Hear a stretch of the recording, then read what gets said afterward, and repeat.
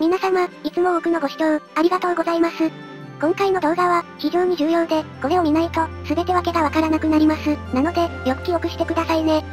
これからお伝えすることは、数話先からの話です。準備はいいですか？まず一つ目。全キャラクターの字幕の色、そして大きさが変更されます。すでにお気づきの方がいるとは思いますが、私の字幕もすでに変更されてますね。これから数十人以上、多分30人以上ですかね、敵味方のキャラが増えますので、さすがに個別専用の字幕に変更してます。写真さんのような暗い字幕はなくし、なるべく明るめに、そしてちゃんとしたイメージカラーを適用させてます。そして次が非常に重要。はい、全キャラクターの見た目が変更されます。私やレミフラさん含め、オリジナルキャラクターは全員です。かなりかっこよく、覚醒したんじゃないか、ってくらい変わってます。元々の東方キャラはそのままですが、ココアさんとマシンさんは変更、その他の東方キャラは、微妙に変わってます。そうですね、試しに私が変わってみましょう。うわ。どうですか？雑な部分は全て直し、色も多少濃くなりました。レミフラさんとかバハムートさんとか、めちゃくちゃかっこよくなってますよ。ふふふ。東方キャラはそのままと言いましたが、変身後の姿は変わってます。よりかっこよく、丁寧に。ただ、前もって言いますが、強さや設定は変わってません。さすがに物語の変更はありませんのでご安心を。数話先に新キャラが登場してますが、それも途中から少し変わってます。変な考察をしないようお気をつけください。そして3つ目、はい、次回作のアナザーストーリーは、エピソード作や、RU です。なので次回がマリサ編最終回ですね。アルテミシアさんも最新バージョンに変わってますので、いい感じですよ。と、言いたいのですが、実はさらに変更されたのを作成してます。なのでアナザー以外でアルテミシアさんが登場したら、それが正式なのです。まあ、ちゃんとわかるようにしてあるのでご安心を、プレミアだと思ってご視聴ください。はい、旧作の昨夜さんのアナザーをご視聴の皆様、おめでとうございます。この作品はリメイク版ではありますが、9割変更されてます。というより、旧作を1話2話でまとめ、さらに追加された話です。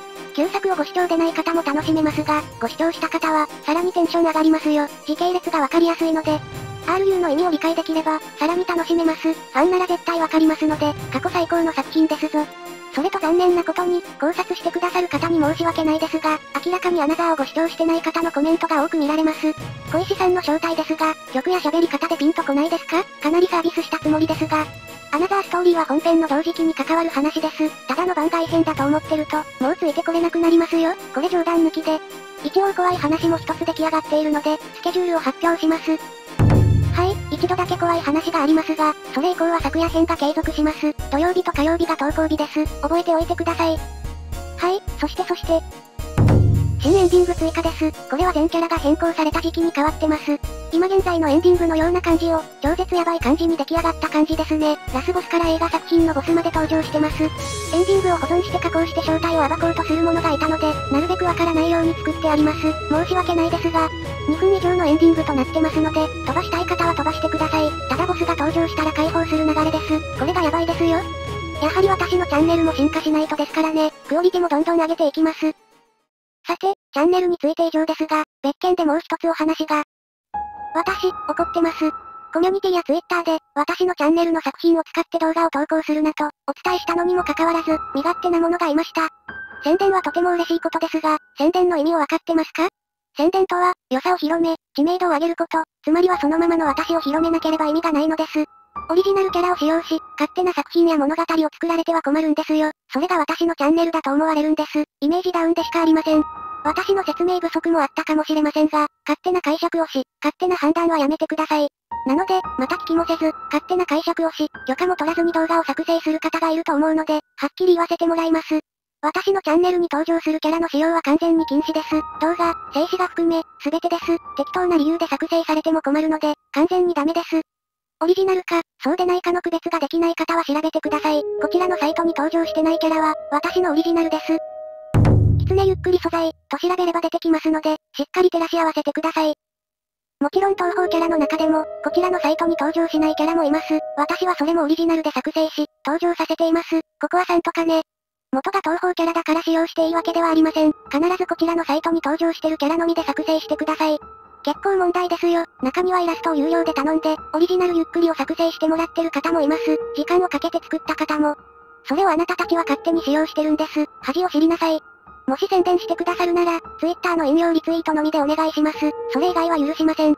それと最後に、他のチャンネルさんで私の名前を出すなと言っているのにもかかわらず、無視して名前を出してる罪人がいます。しかもよりにもよって、魔王魂さんのサイトです。バカですか？あなたたちは。イメージダウンどころの話ではありません。あんなの嵐と変わりません。いいですか？魔王魂さんからしたら、ソフィアって誰？迷惑なんだけどってなるんです。本当に迷惑なのでやめてください。フリー BGM を提供してくださってる方たちです。曲の感想をコメントするとかしてください。ルールを守らない者がいるとどうなるかわかってますか？曲の使用を禁止されるんです。つまりは自由がなくなる。冗談じゃ済まされませんからね。関係ないチャンネルの名前を出すのはやめてください。私は子供だろうと関係ありません。必ず裁きます。無知は嫌いなんです。悪は滅びろ。はい、後半は少し嫌な雰囲気だったかもしれませんが、すべてのゆっくりファン、東方プロジェクトや、すべてのチャンネルを守るためです。しっかり記憶してください。まとめますと、数話以降、字幕とキャラのデザイン変更、エンディング追加、そして次回のアナザーストーリーは、昨夜さんです。そして禁止事項としましては、私の名前含め、他のチャンネルさんで勝手に、関係ないチャンネル名を出すのはやめてください。かなり迷惑です。それと私のチャンネルに登場するオリジナルキャラの使用は禁止です。動画や静止画含め、すべてです。使用していいのは先ほどのサイトに登場するキャラのみです。すでに動画作ってる方は削除してください。すべてです。もう許しません。はい、話は以上です。勝手な解釈をせず、わからなかったら聞くとか調べるとかしてください。はい、次回は火曜日に動画投稿です。お待ちしてますからね。それじゃあまたね